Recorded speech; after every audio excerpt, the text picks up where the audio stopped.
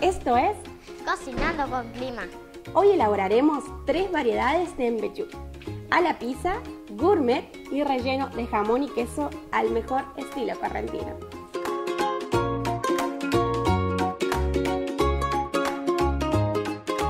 Vamos a contar entonces qué vamos a hacer hoy. Bueno, hoy vamos a hacer un bellú, el famoso bellú.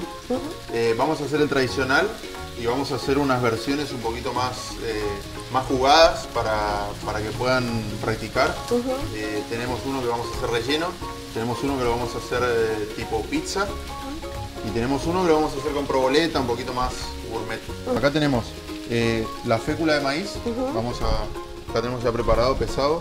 Tenemos unos 800 gramos aproximadamente. Nosotros vamos a hacer bastante porque tenemos dos o tres Variedades. Sí, si quieren pueden hacer menos obviamente. Eh, tenemos manteca, eh, esto lo vamos a cortar un poquito y lo vamos a agregar acá. ¿En cubitos lo corto, Ariel? Sí, lo que vamos a hacer es integrarlo solamente con las manos, integrarlo un poco. O sea Es que como- tiene que estar entonces a temperatura ambiente, digamos, Sí, la sí, manteca. sí. Es como una masa de, de chipa tradicional, pero sin líquido.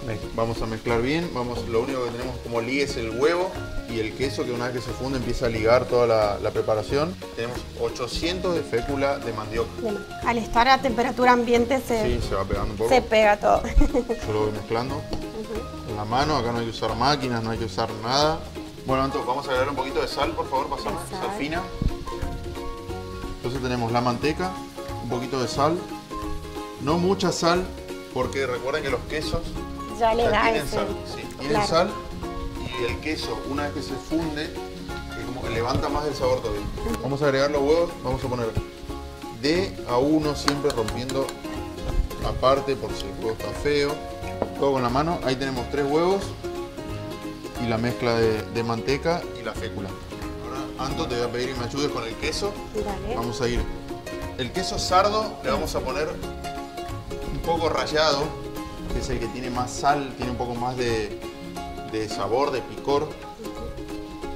También esto es una cuestión de gustos, el tema del, del- del queso, cada uno le pone la cantidad que quiere y la variedad que, que- que más le guste. Nosotros Claro. le vamos a poner queso sardo y le vamos a poner un poco de queso pategras o cáscara colorada cortado en cubitos.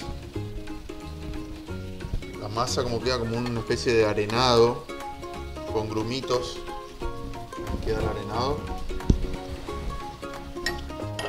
Que apretamos un poco. Una vez que tenemos todos los quesos listos, recordamos el pategras en cubitos y el sardo rallado. Lo vamos a integrar a nuestra mezcla. Esa es la clave, digamos, el, el y queso como que, que el queso es el que le da el Sí, sabor. el, el queso tiene que estar y tiene que tener una buena cantidad. La, Sí. la cantidad que, Lo que haya en la heladera, sí. sí. No se queden sin hacerlo por no tener, oh, Claro, no, no tengo claro. mucho queso. Tenemos la plancha ya preparada, caliente. Pasamos un poquito solamente porque la plancha está caliente. Tenemos una plancha curada que no, no se Que va a pegar pega, ni nada. Claro. También con la mano, acá no hay molde, no, no- La forma tradicional es la, la- la redonda porque siempre la hacemos en sartén, pero lo podemos hacer perfectamente acá sin molde. Mira, apretamos un poquito, más o menos un medio centímetro de de espesor, un centímetro como mucho. ¿Cuántos minutos de cocción necesita la, la preparación, Ariel, para que no se... Mira, Ah, aproximadamente unos 2 minutos, 3 minutos de cada lado. Eso lo vamos a ir viendo, depende de la temperatura de la, de la plancha, eh, depende del el tipo de material que tenga. Nosotros tenemos una plancha gruesa, eh, buena, de hierro, que mantiene la temperatura. Yo creo que en 2 minutos, 3 lo vamos a ir dando vueltas. Ustedes va- van viendo y una vez que se empieza a dorar el borde, lo vamos a dar vueltas. Ahí va, se va a despegar, no tengan miedo. Es de un solo golpe que se le levanta y se lo da vuelta. Sí, sí, sí, no, es algo que se desarme demasiado porque el queso le amalgama bien toda esta preparación. Tiene huevo también, que eso también hace que se, que se una bien la mezcla. Bueno, acá vean cómo quedó, este sería el tradicional. Así sale, este podemos usar para el mate, para picar. Entonces vamos a contar a la gente que eh, sabemos que esto está listo cuando tiene ese doradito de ambos lados, ¿verdad? doradito. Es finito la preparación, por eso justamente nos hace más grueso, porque se cocina vuelta y vuelta de los dos lados. calientita. ¿No? Está un poco caliente.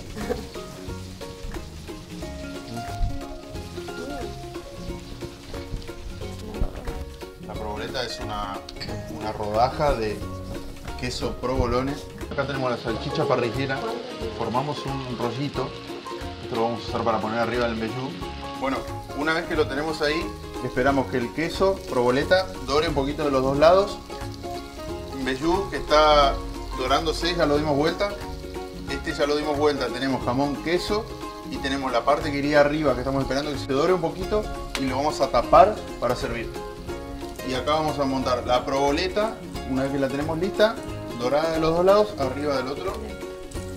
Bueno, y ahora una vez que está todo listo, nos vamos a ir al emplatado.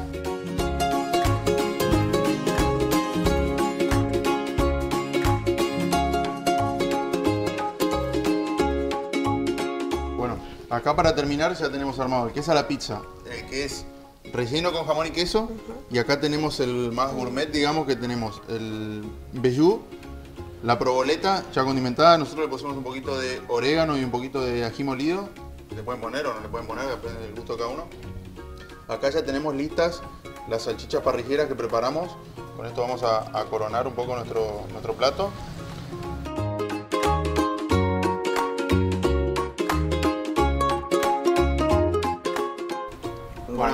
Toca, vas a probar. Voy a probar. Puedes probar el, el relleno, me parece que te va a gustar un poco. El relleno, sí, lo vamos a probar. Vamos con ese. relleno.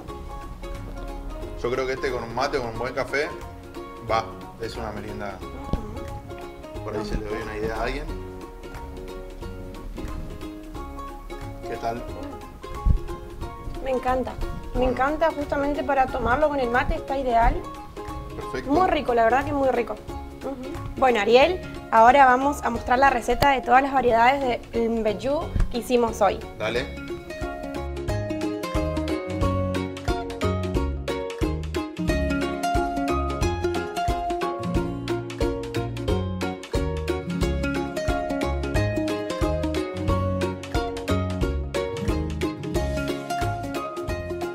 Bueno, Ariel, nos despedimos entonces. Sí, muchísimas gracias. Eh, esperemos que les guste la receta, esperemos que las hagan. Eh, síganos en nuestras redes, ahí van a poder ver los videos, toda la receta completa. Así que bueno, los esperamos el Bueno, próximo hasta el programa. próximo programa entonces.